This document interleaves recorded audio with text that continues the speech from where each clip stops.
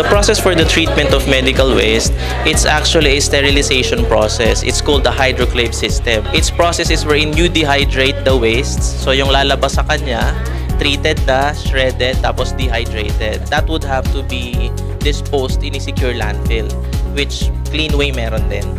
Kaya natin ginagawa ito sapagkat mahalaga sa atin ang uh, kalusugan ng bawat mamamayan ng bayan natin. Tayo bilang nasa pamahalaang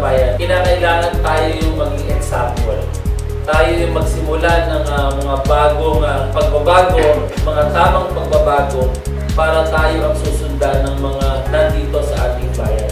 Kinagagalak namin maging partner sila because this is one of the projects na kung saan makikita mo yung commitment ng municipality is aligned with the commitment of Cleanway for environmental protection and also maintain safety and health of the people. Una pa lang ito, marami pang mga susunod kaming proyekto